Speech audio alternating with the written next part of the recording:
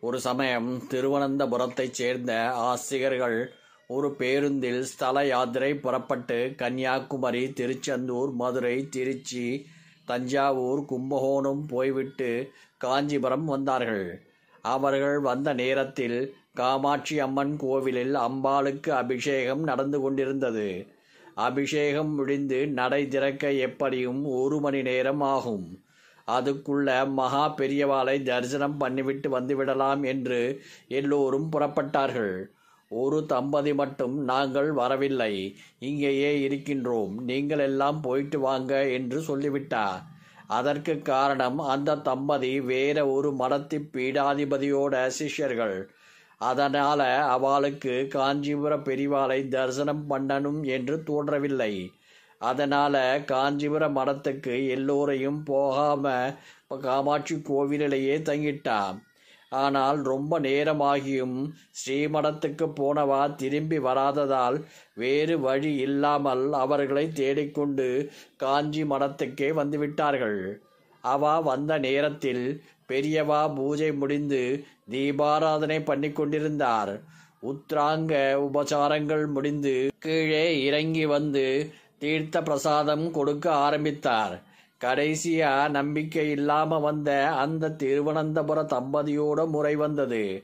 அவருடைய பெயரை கூறி அவருடைய தகப்பனார் கோத்திரம் அவர்கள் வீட்டின் அமைப்பு தோட்டம் உள்ளிட்ட சகல விஷயங்களையும் பெரியவாளே சொன்னார். தன் வயிற்றின் மேல் ஒரு சாத்துக்குடியை உருட்டிக்கொண்டே அவ்வளவையும் பேசிக்கொண்டிருந்தார்.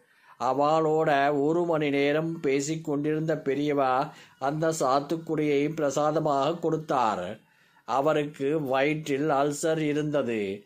மருத்துவர் ஆலோசனைப்படி அவர் இருபது நிமிடங்களுக்கு ஒரு முறை ஏதாவது சாப்பிட்டு தண்ணீர் குடிக்க வேண்டும். பெரியவாளோட பேசிக்கொண்டிருந்ததால் ஒரு மணி நேரம் எதுவும் சாப்பிடவில்லை. பிரசாதம் பெற்றுக்கொண்டு வெளியே வந்ததும் அவசர அவசரமாக சாத்துக்குடியை உரித்து சாப்பிட்டார். அதன் பிறகு அல்சரையும் காணோம் வலியையும் காணோம். பின்னர் ஸ்ரீமடத்தின் அத்தியந்த சிஷியரானார் திருவனந்தபுரத்துக்காரர். கடவுள் ஒண்ணுதான். எல்லா மகான்களிடம் ஒரே இரையாற்றல் தான் இருக்கு. இதிலே நான் இவரைத்தான் பின்பற்றுவேன் அவரை பின்பற்ற மாட்டேன் என்கின்ற மாதிரியான எண்ணம் யாருக்குமே வரக்கூடாது. மகான்கள் தன்னோட வாழ்க்கையை சர்வபரி தியாகம் பண்ணிவிட்டு இந்த உலக க்ஷேமத்துக்காக மட்டுமே வாழ்ந்து கொண்டிருக்கா? அதனால நாம் முதலில் மகான்களை மதிக்க கற்றுக்கொள்ள வேண்டும். அந்த ஒரு உணர்வு வந்தா போதும். நம் வாழ்க்கை அமைதியாக ஆனந்தமாக இருக்கும். ஹர ஹர சங்கர ஜய ஜய சங்கர ஹர ஹர சங்கர ஜய ஜய